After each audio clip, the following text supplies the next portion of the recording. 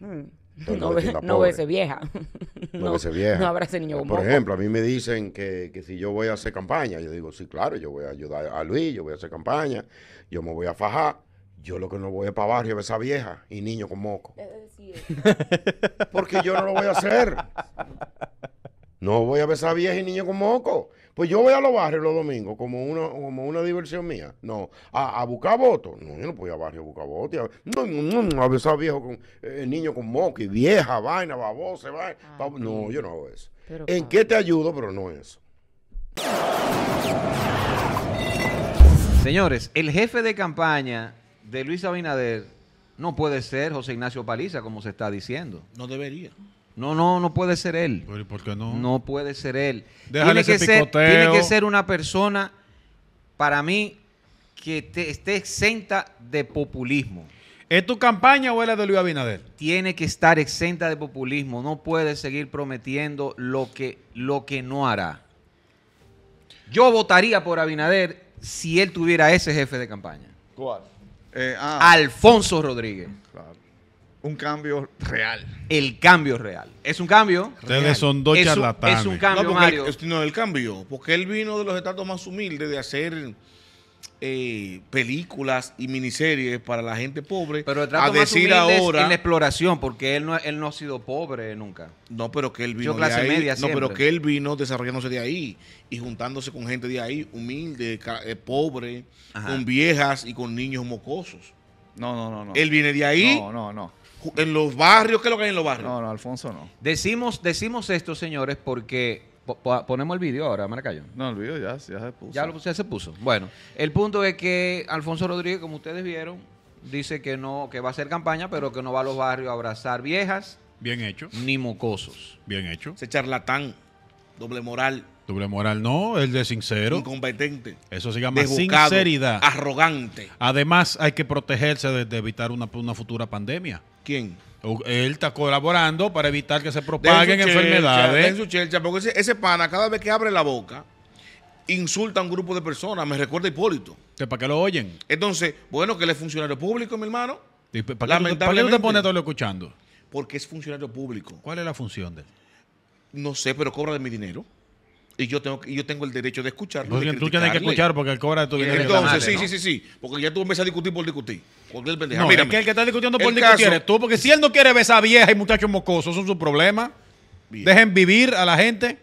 Ah, porque él Ah, pues ya se acabó el programa, gracias. No, acabó el que-. Se acabó el programa. Lo que Deje pasa es que vivir. estos PLDistas son Deje- entremetidos. Este corte se llama Deje vivir Alfonso. Dejen de estar buscándole la quinta pata al gato. Ya. Pues bien, estamos hablando de que una, una persona, al igual que Hipólito, que es del mismo partido, cada vez que abre la boca, insulta a un sector de la sociedad.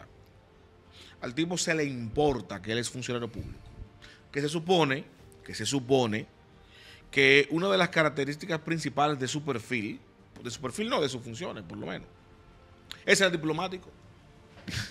Y nada, y nada más contradictorio que, ese, que ese pana. Y embajador. Es la función.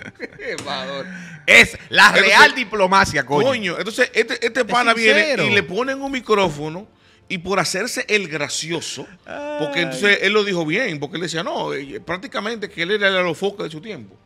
O sea, ahora él, después de ser funcionario, después de viejo, quiere estar haciéndose el gracioso donde quiera que va. No, él Y siempre ha sido, salta él con una ha sido vaina. así.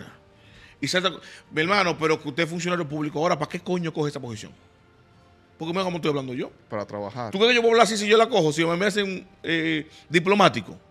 Tengo que guardar las apariencias, tengo que cumplir con mi rol. Entonces el pana Tiene que ser hace un media tour, sale por los medios de comunicación para jalar los views, las vistas en su entrevista y, se- y salta con una disparatada cada vez y cada vez más ofensiva, cada vez más degradante y cada vez y cada vez en contra de ciertos extractos de la sociedad, siempre lo más humilde. Él no dice, ¿por qué él no dice? Yo no voy a poner a darle la mano a estos riquitos popi come M. No, a la viejita o niño mocoso. ¿Y cuáles son las viejitas y niños mocosos? Las de Piantini. ¿Eh? La de Nasco. No, se está refiriendo a la de los barrios. A Luis que me diga que yo lo digo como él quiera, pero yo no voy a ver esa vieja ni muchacho con moco. Coño, sea más sutil. Diga, míreme, presidente, yo lo voy a apoyar en su reelección, pero yo no voy a hacer populismo. O no voy para los barrios a buscar votos. Yo lo ayudo Porque ese no es muy- haciendo ese- spot. ese no es muy fuerte. ¿Verdad? Coño, pero no venga a insultar a una clase social por hacerse gracioso. Porque píntate la nariz y ya. Tú te pintas la nariz, Alfonso Rodríguez. Y tú sales hablando todos los disparates que tú hablas. Y ya uno se ríe contigo. Y que se aprenda un par de canciones de tres patines. Y ya. Si eso es lo que él está buscando. Hacerse gracioso cada vez que abre la boca. Mario, pero él no está, él no está criticando a las personas. Él no, No. Está, él no está hablando de personas allí. No. Él está tomando el nombre de vieja babosa y niño con moco, eh, simbolizando el hecho en sí, lo que representa ese hecho de los políticos, eh, de lo que representa eso, el populismo a ese nivel. Eso es lo que él está criticando, Mario. Lo cual él no está dispuesto a hacer. Y a mí me parece que es una posición correcta. No, no, tú- tú Más siempre- allá de la chercha, en, que- en como lo dijo. No, tú siempre la haces el abogado del diablo con todo lo que ver. Mario, tú La tienes que reconocerle que se la lució ahora con esto, porque mira Ah, que esa bueno. interpretación que él le dio no se le hubiese ¿Cómo ocurrido que a la- nadie. la ¿eh? interpretación que A es? nadie se le ocurría esa interpretación. Oíste, hay que reconocerle que él Ah, se la bueno. lució No, en la esta. aboga- eh, tú eres, eh, mira que ya no rí. Además, Alfonso Después de esa, Rodríguez- yo lo declaro Alfonso inocente. Rodríguez ha, ha demostrado que es una de las personalidades mediáticas más coherentes que existe en la República Dominicana. Sí, permanentemente Porque- un disparate detrás del otro. No, no, porque ha pasado ya por el por lo político y sigue siendo el mismo. Recuerden la transformación que hemos visto a muchísimos artistas, eh, eh, comunicadores que han pasado por la política y se han, imagínate, Milagros, hermano. como el La el, re- el gran Dime. referente es eh, Salcedo. Salcedo. Sí, una, Salcedo, transformación el de un día El para el, gran otro. referente. Y Milagros. Una metamorfosis. Él dice, No, ni siquiera- él dice- ni él dice Milagro. referente en, No, en la para metamorfosis, mí, en el, el, referente más radical. Roberto Salcedo, No. del PLD. No, no. Este viene de que con milagro. No, pero dame, pero déjame decirte porque yo sé Ajá. que tú, para ti van a ser todos los PLDistas. Yo, yo lo sé. Eso, tú, tú ves, tú eres coherente. No, en no eso. todos los no, sorprender. Roberto Salcedo. Entonces yo digo a ti, no, Roberto no, yo porque yo voy radical, más radical. Porque Roberto no viene de la política. Y yo puse a Milagro, a Milagro Germán, pero y que viene, es parecida a Roberto, por eso te puse el símil. Ahora, para mí, ¿cuál es el, el cambio de actitud más radical y para mí más penoso en el término político? El de Doña Milagros Ortiz Bosch. Te pongo el ejemplo. Doña Milagros Ortiz Bosch, en todo su trayecto político, junto a su tío, a, a Gómez, a, a- Juan a Bosch. Juan Bosch, ¿verdad? Luchó por la democracia, él es por la PLDista, coherencia y tal. Entonces, se queda en el PRD, que fue el, que, el primer partido que fundó Bosch, por varias razones estratégicas. Junto con Juan Bosch, ya no iba a poder tener posiciones importantes porque era hermana de ese líder y son contemporáneos y tal. Pero desde el PRD siempre, siempre se luchó en contra de la reelección. Siempre, siempre en contra de la reelección. El único que mantenió una coherencia en ese partido, en contra de la reelección, fue Atoy de Can, que murió. Estuvo en el poder, y no fue diga que por pose, porque su partido, el PRD, llegó al poder, estando él en ese partido, cuando Hipólito. Y cuando Hipólito se, se contradijo y dijo que iba para la reelección, Atuey renunció a ese partido. Porque él quería ser presidente. Ah, bueno. Entonces tú le buscas la vuelta a Alfonso. Pero y a las, no. razones, pero las razones son Es que válidas ahora- todas. Disculpe, pero no estoy entendiendo el Ah, tú- salto de Alfonso a Milagros, Ortiz La coherencia, digo No, yo, no, la tampoco, no coherencia. tiene que porque tú sentirte no- mal, no, yo tú no lo vas a entender, porque no te conviene. No, porque es que yo- ti, yo hablé Ahora Alfonso de- es el más coherente. De personas que no vienen de la política y que pasan por la política y que siguen siendo ellos mismos. Eso fue lo que yo hablé. Yo Me no, pero, hablando perdón, de- Perdón, pero estamos hablando de- pa- para mantener la coherencia y los cambios. Dice, los cambios, y tú metiste el tema tú. El cambio más radical de lo que pasó por la que perdió la coherencia fue Roberto. Y yo, te, dije a ti- y yo te dije a ti, porque a ti se te olvida. Cambió su personalidad total. Bien, de correcto. eso Yo te dije a ti que hablando. para mí Roberto no es el más radical. Te, dice, te estoy diciendo que eh, Milagros es el más radical. Ah, ya, Ah, entendiste ahora. Milagros Ah, caíste otra vez la Perdón, pero es que yo estoy pensando que ibas a hablar de Milagros Germán porque eh, cumple con las características de persona de la comunicación, alejada de la política, y que luego pasa por la política y cambia su personalidad. Sí, Pero Milagros Germán no cambió su personalidad. Ella Milagro- siempre ha sido eso mismo. Pero que ¿Quién? saltaste después a Milagros Germán. Milagros. Ella sigue siendo muy maestra de ceremonia, como siempre ha sido. Bien, pero, pero la posición, lo que no porque- entendí, ¿por qué saltaste a Tuella, a Ortiz, vos? Porque- nadie, nadie lo porque entendido, no te yo- sientas mal. Bueno, el- imagínate. Ok, Milagros Germán. ¿Qué, ¿Qué es lo que pasa con Milagros Germán? No, pero yo no voy a hablar lo que tú quieras. Yo voy a hablar es mi punto de vista. Está bien, di lo que tú quieras. boicoteas haciéndote el estúpido Está bien, no di lo que tú quieras, O si es está verdad bien. que tú estás... Porque tú no me entendiste lo que estoy diciendo. No, él tampoco, tú no ves que no he Él sí opinado. me entendió. Hace rato que él no sabe de qué, que tú estás hablando. Continúa, Mario. Explícate, por Dios. No, él, no. me, él me interpretó, no él me interpretó. No te De lleves de, nada. lo que él Pues yo sé interpretó. que De no, nada. porque lo que está boicoteando. No te A la orden, La no, pregunta a la es, orden. de lo que la divina Vamos a convertir interpretó un que- circo cada uno de los episodios con esta mierda. Claro, discutir, no, discutir, no. te con su disparate. No, Pero no discutir. diciendo. Acabo de decir lo que tú eh, quieres decir para uno saber. Delio, cálmate. Que me está matando la intriga. Yo quiero saber de qué él está hablando. Vamos, que yo sé que el final va a ser No, yo, no, no. Yo- de Mario, no, dale. Ustedes me están obligando a hacer un pequeño resumen. el giro. para idiotas Ay, para- como ustedes que no entienden. Porque empezamos hablando de las personas que vienen de la comunicación y se meten a la política y mantienen supuestamente la coherencia. En Tú su dices- personalidad. Y tú, en contraparte de esto, dijiste, bueno, como Roberto, que, que cambió totalmente. Exacto. Y yo te traje a Milagros Germán, Muy que bien. cambió, que viene de la comunicación. Y te dije, pero para mí, el cambio más decepcionante fue el de Milagros Ortiz Bosch, de posición dentro de la política. Si tú no entiendes eso, si Yo te perdiste, No, ahora pero sí entendí, cállate, ahora déjame sí explicarte, entendí. porque te sí. perdiste. No, yo no me perdí. perdiste, Es que es sí otro entendí. tema. si te perdiste, ajá, entonces tú te haces pendejo diciendo que te perdiste para, para decirme que otro tema para que yo No, no sí hable el de eso. mismo, No, sí el mismo tema. Eso es, ¿cuál es el Lo que tema? pasa es que ¿Cómo va a él lo presentó mismo? en dos aspectos.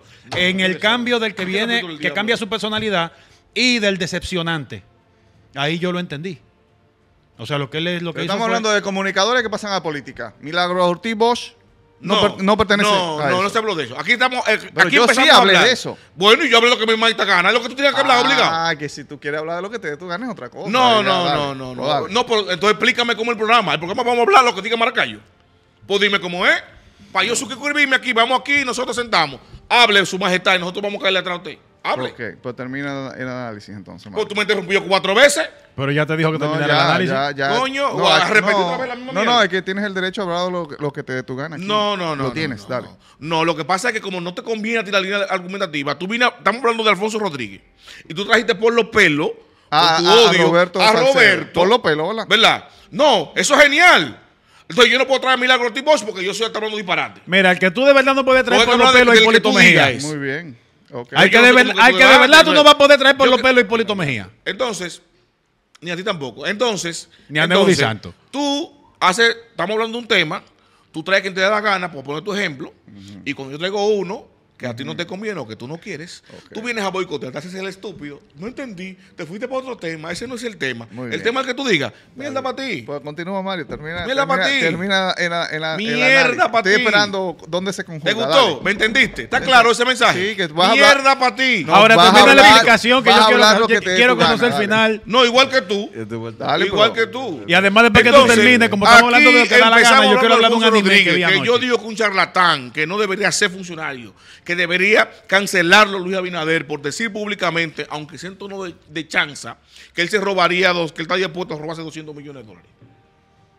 Tú no te- Porque aquí, aquí, porque un Juan de los Palotes dice que fulano eh, le entregó tanto, ya está sometido y preso a, eh, 19 meses, coño, y viene un funcionario de él y dice que está dispuesto a robarse en Chelcha, no ha pasado nada.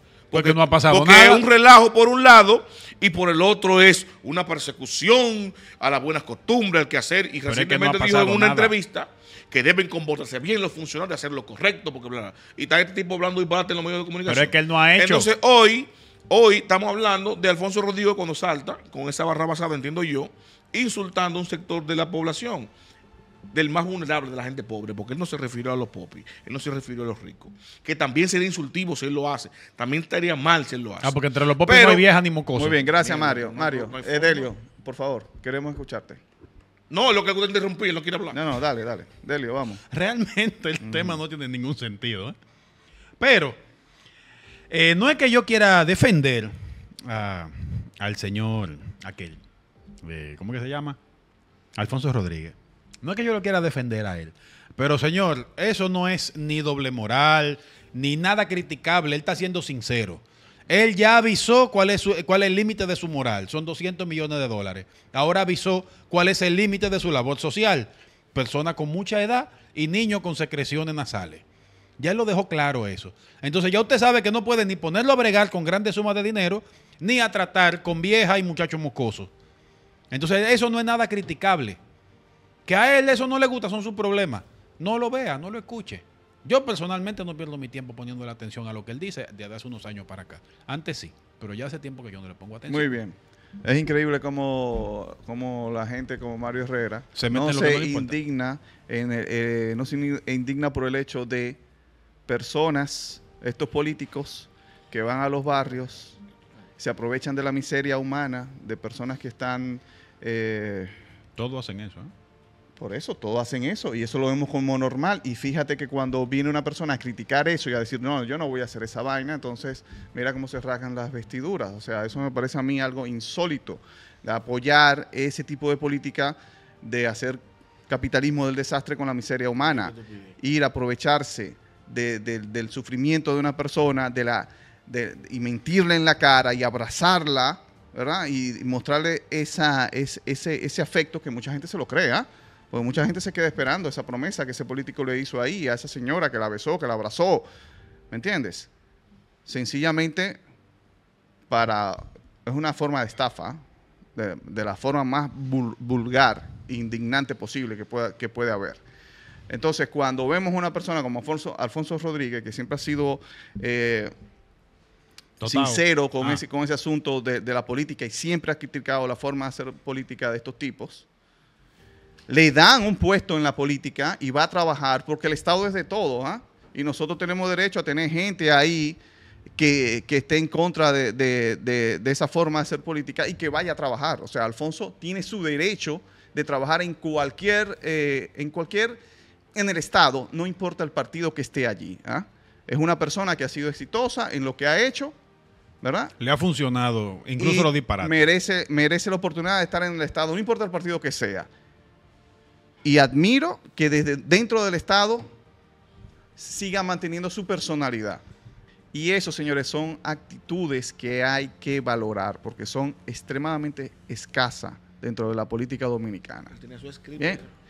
Tenía Y yo te voy a decir algo, el trabajo que está haciendo Alfonso Rodríguez como cónsul, cónsul en Los Ángeles. Es un Quisiera trabajo- verlo, ¿eh? ¿Cuál es? es un- sí, Quisiera ver su... No, lo que pasa, lo que pasa obviamente, que las personas, las que estamos dentro, dentro de la industria cinematográfica somos las personas que vamos a poder valorar en su justa medida el trabajo que Alfonso Rodríguez está haciendo. Ah, porque eh, por ahí tú del cine. Haciendo películas No como cónsul. Bueno, pero a él lo pusieron allí pa- para eso, porque Para él es un experto en industria. el área cinematográfica y, y está en Los Ángeles. Para fomentar las relaciones entre Hollywood y, Y es RD. para eso. Y, y nosotros, la Pero no he República visto, no he visto, no Dominicana, he visto realmente que, nos- que tú no-. Edwin. No, Maracayo, sí. Edwin, Es- sí. es- Yo- él es el yo sí vocero puedo ver- defensor lo que- aquí. de- Yo, es de- que Maracayo, sí puedo ver, yo sí puedo ver lo que hace el Antica, lo que hace el grupo Vicini con su ya, empresa. eh, ya, es otro tema. Yo sí Ya, puedo ver otro eso, puedo ver el trabajo de Cine, etcétera, etcétera. Pero yo, lo que ya. ha hecho Ya, ya, Alfonso, despide, despide, despide. lo que ha hecho Alfonso no lo he visto. Bye. Yo creo que Alfonso, finalmente, muy breve de Dale, mi parte, dale, que tú no lo que está es por. sa- se sabe que va a salir de- de- del funcionariado de- del próximo gobierno Muy pronto. y está haciendo eh, mucho ruido para salir en- con un próximo programa de Alofoque, que se ¿Cómo va a llamar Mierda para ti, men. Eso es lo que él va a hacer. Que me dé mi copyright. Esta es la quinta pata. Mario Herrera, Edwin Cruz, Delio Medina, José Maracayo. Recuerden suscribirse, darle like, activar campanita, comentar, todo eso, toda esa vaina.